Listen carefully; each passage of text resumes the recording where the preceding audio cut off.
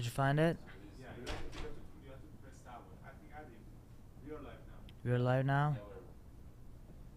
Yeah, you gotta go live. Yeah, now it's live. Yeah, now it's live.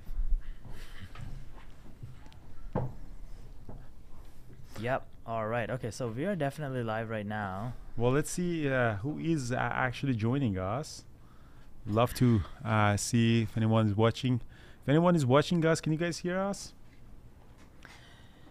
Yeah. So we gotta ask. Uh, Reza, can you go to YouTube and see a comment from your account?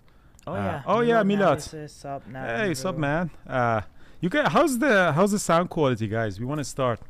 Dominic uh, Fariha. Is is the audio good? Can you guys tell us? Let us know if the audio is good. You can hear us. Give us a thumbs up. It's the first time we're bringing this back after quite a while. So, hey Vinci, Marisol, seems like it's good. Awesome, guys. Thank you so much. So, if the quality of the sound is good, we want to start the new live stream that you used to do uh, for market close. And uh, so now we'd love to actually have that uh, one more time again. Uh, thank you for your support. Obviously, at the beginning, we're going to have some uh, issues with the sound quality and everything.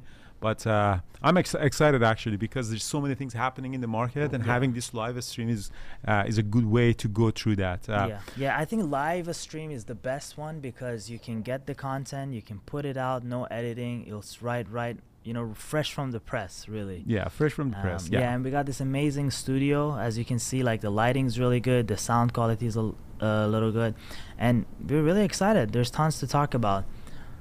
Andrew, yeah. go ahead, sir. So, uh, what's the style of the new style of this uh, live stream that we want to do, Ardi? So we want to do this um, few hours after the close because we want to compile all the information, right? We want this show to be a really good show with lots of useful uh, information for you guys. But at the same time, we do realize it's the time people have finished trading, they've finished their full-time job. So we want it to be fun, light, educational. So our goal is really uh, what is that word called? Edutainment, like entertainment and education Yeah. mixed together. Yeah, we want this show to be like that. Yeah. That's that's the way to do that. And anyone who's actually joining us, thank you for your support. Uh, if you you know miss the live stream, you can still watch it because the, the content is kind of fairly relevant, and we try to bring a lot of useful material for you. But the the first part is if you show Ardi's screen right now, is that actually we want to start with some uh, fun stuff that might not necessarily be uh, you Market know, related. Market related. yeah. Yeah. Yeah. So, um, Santiago, if you can show the screen now for the people, it would be very nice for you to see some of the things that happens. Uh, uh, very nice. Uh, But we are showing, we are showing the, the screen of Ardi, not the, co- not the screen you have. no, that's okay. That's but, okay, yeah, But my I don't screen's see that good. actually right now in the screen of It might, it might be delayed. Your your feed might be delayed. It might be getting there. No, No. I having just your, like a desktop screen. Oh. Okay. It's like differently like you have. Yeah. So now it actually came, but it's actually showing uh, the the wrong uh, the wrong uh, thing. So disconnect it. Disconnected. Yeah, disconnect that one. Uh, just yeah, take out the HDMI.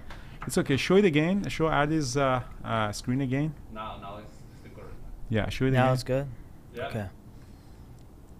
Yeah, as you can see, this is a live show. So So this is the first one. We're gonna yeah, practicing, yeah, and there's not a lot of people, practice, so uh, you know, sorry about uh, some of the things. So the first one is actually something that happened today in the Congress, yeah. and uh, uh, MTG Marjorie Taylor Greene brought a Mhm. picture of uh, Hunter Biden. Sh- she's a Republican. She's a Republican. She's a very, very extreme right Republican. Uh, and what what uh, what uh, kind of what's uh, what's her county? What what area she's? What's Actually, I don't know where uh, uh, where she's from. Actually, let me quickly.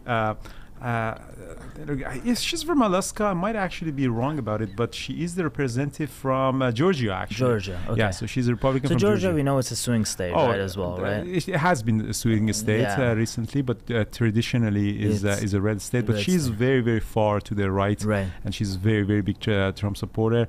And obviously, the way that she's talking and the way that she's acting in a political scene is very very uh, interesting and very uh, very. So uh, what's the story behind this Andrew? Take us there. What? So she brought this this picture. What's significant about this picture? I think they say that in the picture. If you bring the picture right now, Santiago, uh, so Yeah. it actually in the picture they say that uh, the Hunter Biden paid a lot of money to prostitutes to create the sex videotapes, and of course this is a political theater to yeah. hit each other, the politicals, and uh, and uh, essentially they say that these are the same Democrats that want this material in our kids' school, because there's a lot of discussions about putting the gay and LGBT into. Uh, The uh, curriculum in the of the curriculum of the schools. Yeah. uh, so that's that's the kind of political attacks that they're doing on each other, and it's you know kind of both parties doing it in different uh, you know Different elements. ways, But this yeah. is just the funny part. I mean, we're not taking any uh, side, but that's actually very uh, very interesting to see that. So what is the story of uh, Hunter Biden? To be honest with you, I don't know, but I know that uh, he had the cocaine uh, issue before, and there are some uh, allegation of corruption in Ukraine, and you know connection to the you know energy companies in Ukraine. Yeah. Uh, again, we don't want to get into that because it's a very sensitive topic. Yeah. I don't know if they're true or not, uh, uh, but uh, you know they use Hunter Biden against Joe Biden, President Biden a lot. yeah, for Um, sure. One of the things I noticed, I mean, again, before without getting too political here, is, and it has nothing to do with politics, but like sometimes you have to earn success. You see these in these scenarios where like your dad is very successful, or uh, you know you have so much. Uh, like you have so much connections and nepotism, you end up really screwing things up. So Yeah. it just seems to me this seems like he was given a, a bunch of opportunities because of his dad was in politics, bunch of contracts, and he really went south, right? That, that's possible. Like if I know I'm dealing with uh, you know a very vice president's son, Mm-hmm. I might give him favor that even if he's not asking for. Yeah, Like if I, if I know that he has such such an influence in Washington, I might you know do some deals with uh, that person. So Yeah, doesn't sure. necessarily mean that he is guilty of taking those deals and stuff. But uh, when you are connected to the you know center of the power, yeah, definitely. you know you might get some uh, even unrequested advantage. You know, I see this in my life as well. Like I'm CEO of Trading Terminal because my brother. Is. that's also that's also very true. So let's go to the let's go to the next slide. Uh, this was a fascinating fact that I saw. Uh, Jim Bianco um, posted this. By the way, Jim Bianco on Twitter. He's a he's an amazing follow. So if you can follow him, definitely give him a follow. There is now more NBA players making 30 million a year than there is S&P 500 CEOs making 30 million a year. So that's a that's a very good point. How many NBA players do we have? The professional one. How many teams do we have? For uh, around 450. So we have 30 teams. Each team has a 15 people rotation. So So 450 Four- player. yeah. And it like kind of similar to 500, the CEO of S&P S&P 500. There are yeah. more NBA player that making 30 million dollar or more Yeah. just from their contract uh, on for the team Yeah. that S&P 500. And then one of the really interesting things is we offer here we often hear greed when it comes to CEOs. Oh, like they're getting paid too much and the greedflation and all this stuff. But we never hear people arguing, "Hey, athletes are getting paid too much. What the hell is this?" Right? Uh, yeah, I think uh, Bernie Sanders is one of the uh, people who really advocate for the lower salaries. Yeah. But uh, you know, as you said, it's actually very interesting. And here's another interesting thing: is that the white collar jobs, like the CEO of the companies, Yeah. uh, doesn't necessarily mean that they're that amazing anymore. Like you know, these athletes they make uh, you know hundreds of millions of dollars Yeah. even from the other contracts and you know. Uh, Yeah. other promotional contracts or advertisements that Oh, for sure. So the 30 million is just is just how much they're making on in their in their contract. So much off off brand deals that they have on the side that makes them a lot of like LeBron James. His deal with Nike is worth a billion dollar over his lifetime. A Yeah. billion dollar. Or I saw the movie about uh, Michael, uh, Michael Jordan, Jordan, yeah. and the, the deal with the Nike. Yeah. He's a billionaire now, and then how he's making money. I think Cristiano Ronaldo, the soccer player, the football player, he made a hundred million dollar like in one of the years, and it was only twelve million dollars was actually in that year came from his contract with. Uh, I think in that time was with Manchester. Yeah. So the rest was actually from the promotional deals and advertisements and endorsements that he's doing. Yeah. So it's it's really interesting. Uh, um, definitely, if you can, go become a NBA player, right? Yeah, so this is a different path. I mean, we grew up uh, as someone that you have to go through the white collar jobs, Yeah. but you know, it seems that there are so many tr- other So traditional many, ways. Absolutely. Let's move on to the next uh, topic that we are having. Next topic. So this is a, another funny one that would really gets us to the to the market. it says, "How did you make so much money investing that?" The dad says, "I can't read a balance sheet." The kid says, "Fucking legend." Uh, yeah, what was that? What, is it? Is it a joke? It's a joke. So uh, if you're in the YouTube, you're watching the stream, you probably should be able to see my screen uh, and see what I'm sharing. Yeah, so that's the fundamentals there. So market is going up. Yeah. Market yeah. is trading expensive. Yeah. Uh, and a lot of people who are fundamentally looking at the, the valuation of the companies Yeah. are going nuts. Yeah. yeah. And that uh, says that hey, you're a fucking legend because you can't read a balance you sheet. can't read the balance sheet. Yeah. So we had a guest that I, we actually both of us have really good respect for him, Yeah. Michael Gayed. Yeah. You know, we've been on the show before, and he has a lot of followers. Yeah. He has the ETF, and he, you know, he published papers. Yeah. He's very bearish, and he thinks this is a you know kind of a bubble, and uh, you know this is the bear market is not over yet. Yeah. Uh, is he based on the fundamentals? Yes. Uh, I think what Michael Gayed is saying, and I think there's some merits to it, is he's he's basically his thing is there's a credit event coming. So what does he mean by that? He means when you take the rates from zero to six percent in a span of a year, there's gonna be some kind of an insolvency somewhere. And these are usually the thing about these is these are usually exogenous shocks. You can't predict them. You can't model them. Once they happen, like exactly like no one saw SVB coming. No one saw First Republic Bank coming. Because it's just the nature of how they are. They're exogenous shocks. So I think what Michael Gayed is saying is there there is a credit event coming somewhere, and you know he sometimes uh, encrypted tweets October or you know says some dates. So I think he's he's he's advocating for hey there is a credit event coming. No one will see it coming, and once it happens, that's when we he says basically bear market is not over, right? Bear That's what market is saying, and yeah. we are just few percent below the all-time below the high. all-time high. Yeah. Uh, so what do you think people in the chat who are actually watching uh, i'm actually very interested to see do you think we are in a bear market and this is just a rally or we are actually in a new bull market i personally think that the price action is very bullish and sentiment has been very bullish yeah. and people are trading stocks uh, equities at the higher price higher valuation just because the sentiment is very uh, bullish Yeah. is there such a thing as a, a bubble I don't know, but the, we have sentiments. You know, you right now S&P 500 is trading around uh, 20 multiple um, of uh, earning per share. yeah, probably uh, even more. Twenty-one. Probably even multiple, yeah. 21, and historically in the last 40 years, I think it was trading at 16 average. So people are paying 25% premium, but that doesn't mean that it's a bubble. Just people are buying it. They say, yeah, uh, I'm I'm buying Apple at that price, Yeah. and I think uh, I think it's worth it. Yeah, no, absolutely, and uh, you know the same people that were last year buying Palantir at forty dollars, right? So I mean, following price and following sentiment is gonna cost you a lot of money, right? So you have to really have a framework, Yeah. like Yeah, speaking of the price, we had two big earnings uh, actually had uh, today. One of Mhm. them was Netflix and one of them was Tesla. yeah, Uh, so Tesla had their earning and uh, the price actually trades 5% lower than uh, it was expecting. yeah, Uh, the r- revenue has gone up, but they say a lot of this revenue growth is coming from uh, actually discounting the cars. So Yeah. yeah. you keep the revenue up, but you're actually putting pressure on your operating margin and your yeah. gross margin. Yeah. So their their operating margin right now is around nine percent, and uh, I think their gross is about seventeen percent or something something similar like that. So their margin, and they were like.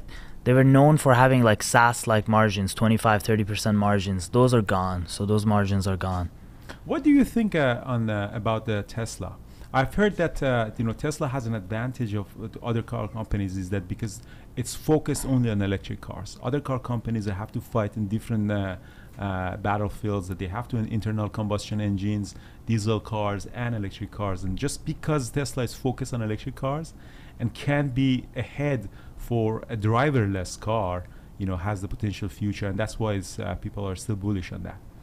Yeah, I, I don't agree. I personally don't agree. Uh, you know, I mean, when you look at autonomous driving, Tesla is level three, Mercedes is already level four. Um, but you know, again, talking about sentiment, sentiment really follows the price, not the other way around. I remember last year you and I were having a really fierce conversation, and you were telling me, "No, you're wrong. Tesla is a technology company, an energy company," and I was telling you, it's a car company. And then once it went to hundred dollars a share, everyone was saying, "Oh, it's a car company." Now it's going back up again. Everyone's saying, "Oh no, it's a technology company, and it's this, this, and it just follows the price." I think a fair value of Tesla is probably around 150, 160 bucks. Uh, it's double overvalued, and where the mark when the market realizes it, who knows? Uh, but you don't want to short it based on based on where you think the fair value is, right? That's how you lose a lot of money. Yeah. What do you think about Netflix? Netflix also had their earning, and apparently during their earning, they said that it's a little bit too early. Their revenue grew eight percent year over year, but they said it's too early to recognize that how much this uh, ad, uh, uh, you know, uh, revenue that they're in- incorporating into their plans actually can have an impact on their uh, uh, subscriptions. I think Netflix after hours has gone is being uh, trading uh, much lower, like eight percent right now. It's trading lower. Eight percent down. yeah, it's yeah. eight percent down. I don't know. I mean, when it comes to Netflix, Netflix is really like a SaaS business. If you really think about it, Netflix is a SaaS business with really high cost because they're they're software as a service. You're paying a monthly fee. You're streaming, except they they have to make all their own content. So c- content creation is really expensive, and it's it's a it's a suck of cash because every every few years they gotta raise a bunch of debt to recreate better content, recreate better content. So if you think if you think Disney is a mature version of Netflix, Mhm. look at Disney and what's happening with Disney. Like they're cutting so much. They're cutting their Star Wars franchise. They're cutting their um, a, lot a lot of their brands because they were getting so bloated. Yeah. Because content creation is expensive, right? Yeah, even their parks, Disney are doing really bad. Having said that, Netflix, uh, you know, at least uh, you know it's uh, it was ten percent up uh, in the last in last month. Oh, for sure. But I, I think after this drop, it's going to be flat in the last month. Year to date, is still you know it was up sixty one percent Netflix. That's amazing. Now it's going to be still 50%. how much how much away is it still from all time high? Uh, let me see. The all-time high was somewhere around. The, of course, after the pandemic, was somewhere around six hundred thirteen. so it's still fifty percent down. yeah, still fifty Yeah. percent down. Yeah. So this is so this is goes to show like you have to have a system, right? If you if people were buying at 690 and you were just following them and buying them, you're still 50% down, You're 50% right? down. Speaking Yeah. of being significantly down, Adi, Carvana is a perfect example. Yeah, yeah. yeah. Carvana in the last couple of uh, days has gone a massive uh, short squeeze on up. Right. I had a really bad loss on that. But Carvana was from the h- all highs that he had after the pandemic is down 99%. And uh, yes, it had you know uh, squeezed back up almost 1500% in the last couple of days, but it still needs another 600% move up to get into the all-time high. yeah. So the, the key here is if you lose 100 per, 50% of your money, You need you need a 100%. 100% return to get back in uh, to what you had. Yeah. And that's that's just the uh, uh, impact of he- here's a here's a here's a rule of thumb I say if your account goes down by 50% probably need to wait four five six years for you to get get break even Yeah. that's just how it works that's just how the math works yeah. Ari, speaking, we don't know if it's in a bull market or bear market. Yeah. But the question that we have here is, uh, which one is better for day traders, bull market or bear market? sir you're the king of day trading So, I, in my opinion, the bear markets are better for day traders because the pockets of volatility is all across the board. It's much easier, Yeah. you know, to uh, day trade in a bull market. In a bear, in uh, sorry, in a bear, Bear market. market, In a bull market, uh, the the pockets of volatility are more limited because the overall market is going to go up, but with less volatility. Mm. Right now, the VIX index, the vo- the fear index, the volatility index is in all almost all time low. So Yeah. you know means that the market is going up, but very slowly go up. Like Yeah. bulls take the stairs, bears take the you know window down. Yeah, So what you want as a trader is really the volatility and the volume. However, uh, there is a danger of uh, the volatility is a double-edged sword. There is a danger of uh, you know uh, big losses in a bear market. Like I myself had the biggest loss in a bear market. So traders should be really, really mindful of that. Yeah, no, I, I absolutely. I'm looking at the questions. Any other interesting question came, Andrew, that you wanna you wanna talk Um, about? No, I think uh, that was um, um, Uh, so that was the question. So if you guys are watching and listening to us, we appreciate you press the like button because uh, you know the algos are really like to actually uh, see the people are engaging. And if you have any question in the chat, we'd love to actually uh, hear that. Uh, Amar is asking why Tesla was going up today before the earning. Sometimes uh, people anticipate. There's really no reason for that. I don't think there's any uh, fundamental. Yeah, no. But there is a big thing in the market that they say uh, buy the rumor, sell the news. A lot of time that Apple wants to release something, everybody buys it, and as soon as they release it, it drops significantly. So that's also something that uh, you got to be careful. It happened to me many, many times. Yeah, exactly. Uh, yeah, like my fiance was texting me and say buy the Mattel stock because of the Barbie movie, and I told her it's already priced in. It's right? already priced. But in. if you want to buy it because of the Barbie movie, the hedge fund manager in. Uh, they already know that. They already know that. information, let's talk about. Uh, I don't know how much time we got, but this is an interesting one too. Uh, Benjamin Graham is is his name? What's his name? The the kid from Yeah. the Uh, YouTuber. Stephen Graham. Is St- Stephen Graham. yeah. Stephen Graham. Yeah. So they posted his pictures and they said basically kind of a contrarian. Like by the time he gets bu- bearish, be- get bullish. Mm. By the time he gets very bullish, get bearish. So it's four. If you can go to my screen, uh, Santiago, it's four of his. You can go full. Yeah, of course. Uh, if it's four of his most recent videos, how to use the 2023 market crash to get rich. We know 2023 has been one of the best years in the market. yeah. And then while you regret buying a stocks in 2023, again, we knew it was one of the best uh, best years. I don't see the screen. Uh, Santiago, can you share add this screen? It's, it's, it's, it's, it's live. I It's thi- live, yeah, okay. I think you might be Yeah, I a think few it's a second delay. delayed. Yeah. Yeah. And then three months ago, he said the Fed just crashed the market. Again, we know market went up. And now he just released a new video, how to get rich in 2023 bull market. So I think if you're a trader and you want to trade against uh, Benjamin Graham, who's really a YouTuber, it's a good time to take some profit. To take some profit. Yeah. Yeah. I mean, the, the sentiment always follows the price. Yeah, yeah, Uh, exactly. and uh, you know when the price uh, goes, you know, six months ago in November, December, everybody was so gloomy, and this is the end of the board. The pricing of the companies were like there is the end of the board. yeah. And uh, you know now everybody is so bullish. Yo, the economy is solid, inflation is coming down, just because the price uh, is going up. Yeah, exactly. Uh, same story with Tesla, right? When it when it's going up, it's the autonomous company, it's the technology company. When it's going down, it's a car company. Car company, and it's not Yeah, worth it. yeah. Like the PE should be eight. Well, in reality, it's probably somewhere in between, but most likely just a car company. But uh, here's the thing: it doesn't matter for investors Yeah. as long as you position yourself based on uh, your uh, scope. Actually, for investors might, but for traders, definitely it doesn't Yeah. matter. You know. But if I'm a big fund manager and I want to invest in Tesla, these are the questions that does really matter. If you want to invest hundred million dollars in Tesla, you have to have a really good approach on uh, where this the direction of this company is Yeah, going. absolutely. Uh, speaking of, um, you know, the contrarian, the the sh- the short Jim Cramer ETF, the the ETF that does the S-Jim. yeah Yeah. reverse of, is not having a good time. AKA Jim Cramer is killing it right now. So the ETF, if you can see my screen, Santiago, if you could put it there, the ETF was twenty six dollars about three months ago. Now it's trading at twenty one dollar. So Oh, that's yeah. a thirty percent drop. So that means uh, long Jim Cramer has outperformed the mar- outperformed the market. Yeah, Uh, that's uh, that's. It. I mean, overall, having that the kind of a meme ETF was really really funny for me. Like whatever Yeah. Jim Cramer says, you go long, or whatever he says, go Jim, I, I, Yeah. uh, go short. And the tickers were uh, long Jim LGIM yeah. and short Jim SGIM. So this Yeah. that was really really funny.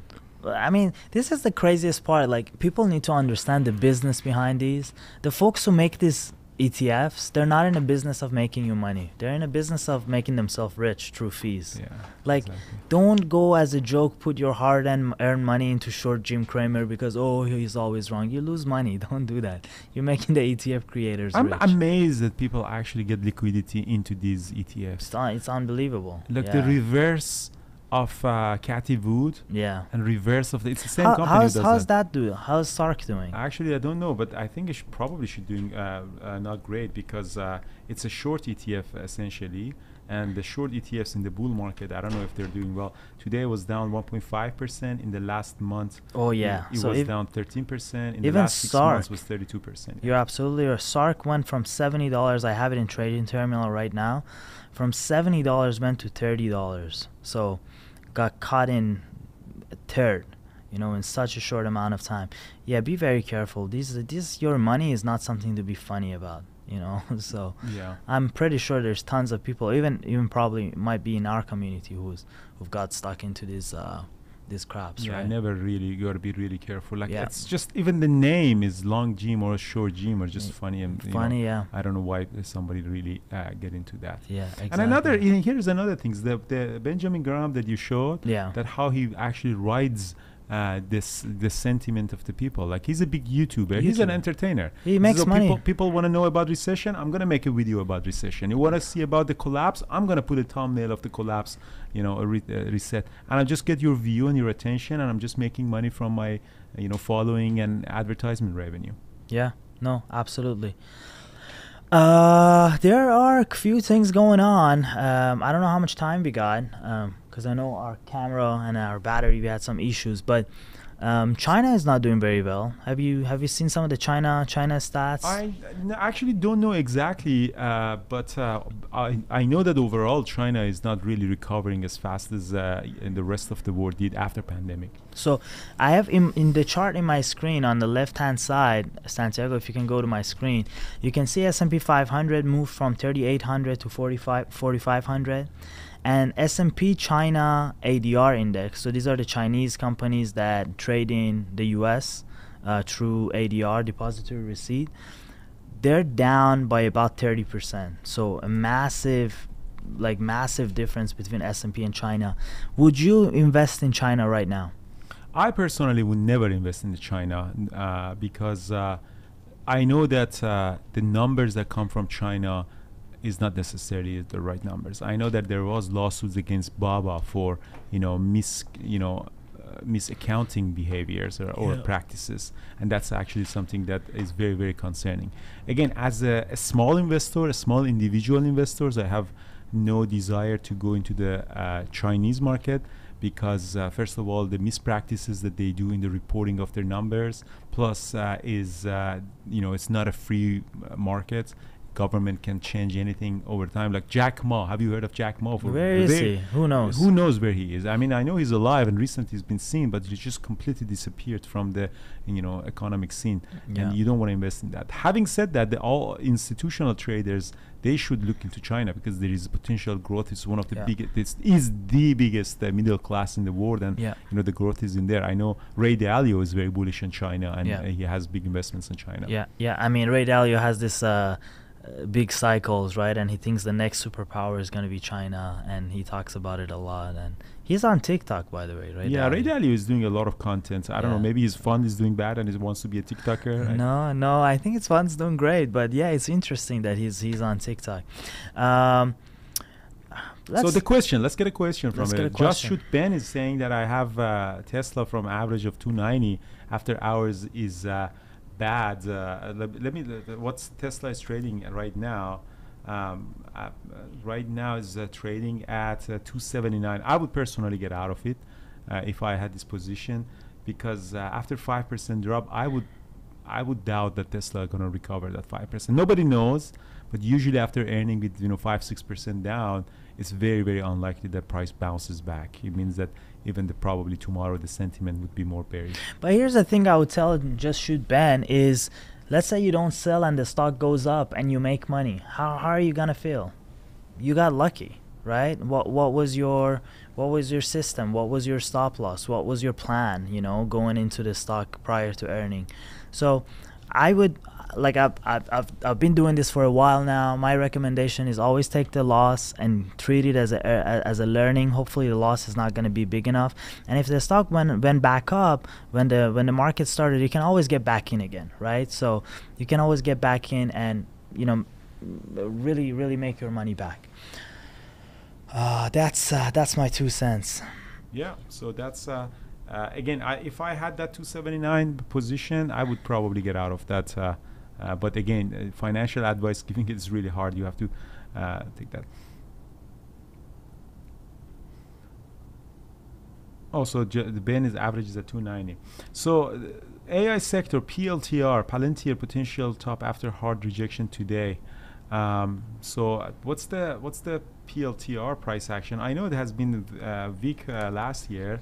It got destroyed really last year, and but in the last six months, starting from the May, has gone up significantly from seven dollars. Now it's trading at. Uh, uh, eighteen dollars. Uh, uh, I don't know. I mean, Yeah. it doesn't. it Here's doesn't seem to he- me- here's my two cents on on PLTR. If you're an option trader, if Santiago, you can go to my screen. Is you can see this doji here, right? This topping pattern. One of the things you could do usually is you could sell some premium. So maybe at a 19 or a 20 dollar, sell some premium, sell some calls. Okay, you make some money, use some of it, and buy some protection at like 21 dollar.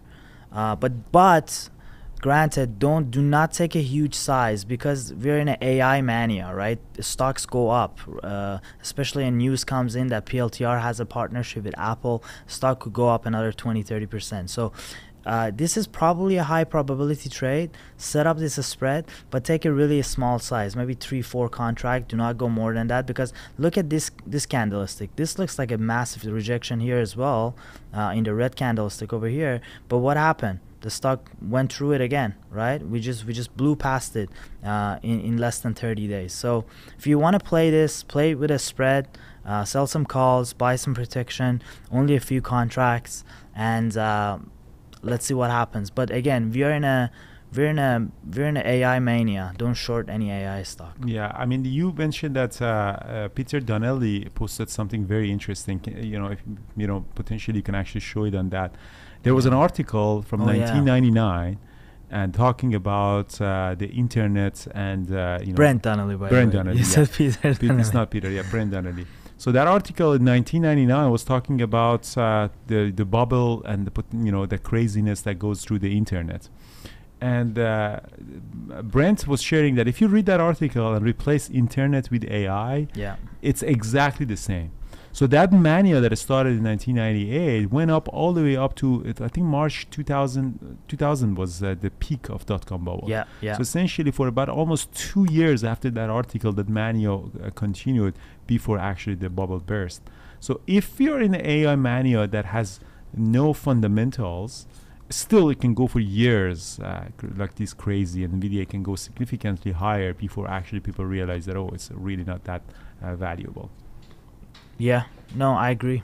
Absolutely. Uh, shout out Brent Donnelly, by the way. Um, he is coming to New York. So if you're on the fence about coming to New York, definitely come check us out in New York City. It's going to be our biggest event, more than 150 traders, uh, three tours to NYSE. Even though we're sold out on the NYSE tour, there's a chance people might drop out. So come. There is probably a probability that uh, you might come to a NYSE tour. It's a higher probability than buying the Powerball uh, ticket, you know. And it's going to be a great, great, great event. We're really, really excited. Yeah, it's amazing. So a question that is coming into the chat room that they say, what do you think the Carvana is going to do until the end of the next week? I think Carvana had a very massive up in the last six uh, six months. It was like 750 percent up. Um, it- the price action today was very very difficult. I had a be really bad loss on it, but I think it's going to probably soon exhaust. Uh, from this massive short squeeze, even if someone is actually getting a squeeze, they probably get a margin call, and then uh, this uh, massive uh, short squeeze is going to end. So if you are in there, to take some profit. It's not a bad idea to take 25% to 50% profit and let the rest run for you. But I don't see it, uh, this uh, up 60, 70% every day. They usually don't last. And uh, you know, short sellers start shorting it, and buyers would get exhausted. Uh, someone asked about Hood. I think Hood is interesting. Um, if I want to play Hood with an option, I think it's breaking out. Um, if I wanted to play Hood with an option, I would probably sell some 12.50 or 12 dollar put, use that money and buy some August uh, end of August calls at the money or in the money calls because I think this, stock is probably going to 15 uh, very soon. Uh, it's just breaking out Which right one? now. PLTR? Uh, Hood, Hood, yeah, Robin Robin Hood. Hood, yeah. and I mean retail trading is really back, right? Uh, folks are back. They want to trade. Everyone's back. Uh, market is front running it. Um, this this price action, this this is a this is a uptrend bullish price action. So this is what you want to uh, this is what you want to do. I would play with options With on options. this one. Yeah. So for some, yeah, uh, um, but, but here's one thing that we have to understand that about the crypto market. Crypto market seems a little bit exhausted.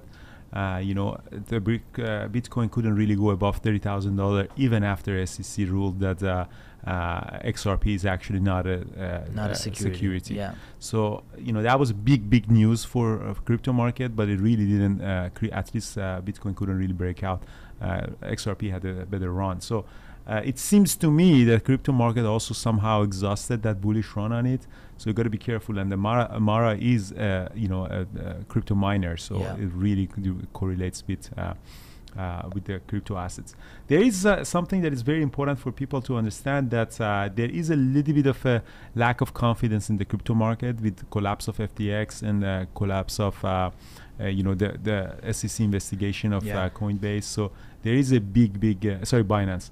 Uh, so there is a big uh, um, uh, uh, lack of confidence in in the crypto market right now.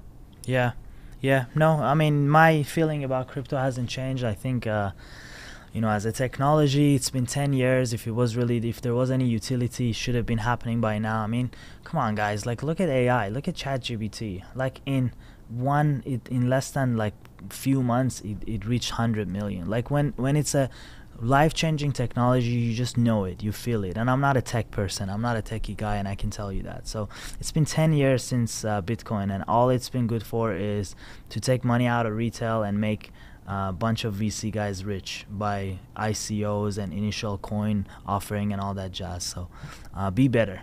Come on do better. That's my that's Yeah. my I mean, cents. the crypto market is is the crypto market a sustainable way of growing your money, especially the big portion of your investment? no I think no. Uh, it could be a part of your uh, could be a lottery port- ticket it could be a lottery ticket, Yeah, but you have to play it like, like a lottery ticket. Lottery you buy ticket. a five dollars lottery ticket. Yeah. You don't put your life investment into a lottery ticket. yeah Uh, I think if someone wants to be exposed to the crypto market, definitely in the low one digit should be like five percent of the portfolio, or you know less than ten percent of the portfolio Yeah. should be in the crypto asset.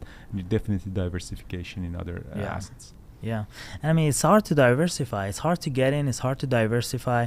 I mean, think about it. You were in FTX, and you were five percent of your asset was in FTX, and FTX goes under, and what happened to your asset? Yeah. Like as long as there's no custody that is holding your Bitcoin, uh, the cost the custody is under the SEC rule and S- SEC regulation. You can't be sure if any of these exchanges that you have your money with on crypto they don't go under. Right? Like I remember a friend of mine eh, messaged me during the peak of crypto and he was saying this yield uh, yield farming gives me 15% and i told him this is a ponzi there is no way and back then rates was zero i'm like Yeah. there's no way risk free is zero and these guys are giving you 15% granted he didn't put his money and few months later the company failed right Yeah. because it's just it's it's modern day ponzi I know people who lost millions of dollars in Yeah. uh, in a Terra stable coin. yeah So these are pine and essentially is a Ponzi Ponzi scheme. you Yeah. know. people laughed at me when they said, "Okay, what's your expectation of your return?" And I said 10 to 15 percent. They laughed at me, yeah and you know, it's just. Uh, you know they're they, they were expecting like 20 30 40 percent return on their Yeah. money and this is nothing No, I mean seriously, guys. If you want to waste your money and lose your money, I'll put my PayPal here. Just give it to me. I'll I'll use it. I'll go buy a nice watch. I know how to use the money. Like don't don't do not gamble your money like this. yeah, awesome Um, all right so Adi this way this is uh, so do you want to talk about the Canada at the uh, the last uh, uh, uh, or no I don't know how much time we have. Let's if we want to do this every week, then we there's tons of stuff to talk about. Maybe we can talk about it next week uh, when we come back. Uh, but this is a new format. We want to give this a try. Uh, tell us if you like it. We can we can do stock reviews. You know, it seems like people want to see our stocks and do stock reviews. We could do that.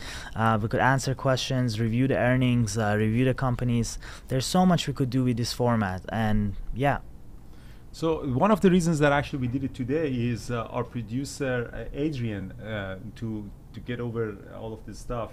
So Adrian, how's uh, how's the situation over there? Are you comfortable with changing th- everything? maybe Adrian, come and let the let the folks see you uh, to the yeah, camera. say hi to the hi to the camera. Yeah, yeah. So this is uh, Adrian, our new producer, guys. Uh, so if anything uh, goes wrong with, uh, it's his fault. If uh, Okay, let's uh, let's wrap it then. Okay, well, thank you so much, guys. If you are uh, not subscribed, we appreciate you if you like and subscribe to our channel. We're gonna uh, we're gonna continue doing that. We are aiming for three times a week for now. Yeah. And uh, if the you know it's uh, it's uh, Sean is asking projection about the ID, IWM is the last thing. Is IWM is actually catching up with Nasdaq right now because IWM was the index that was uh, lagging, but it has caught up really well, but it still is the, I think more than uh, you know 12, 13 percent below all-time high. So it has a little bit of more room if it really wants all the indexes go to all-time high. So here's what I would say about um, IWM. Look, one top, two top. If it goes here, if you can see my screen, it will be three top, right? So the 200 level in this bear market has been a key area of resistance. So you know, technical analysts quite often tell you there's no such thing as triple top. So if there's a double top, I think ICPLTR. Are you talking about the IWM? uh, I'm I'm in my screen. I'm in I, I, I, IWM, yeah, IWM, okay. yeah. So maybe it's a delay on this one. Yeah. Um, so yeah, so you can see one top, two top, at the 200 has rejected it twice this bear market through the rallies. I think if we can break above the 200, this could be another run for IWM, maybe aiming to go back to all-time high. Um, technical analysts tell you that there is no such thing as triple top, so who knows if it rejects it or not. Yeah, excellent, excellent. Well, thank you so much, guys, and have a good day. Uh, thanks for tuning in. Ciao.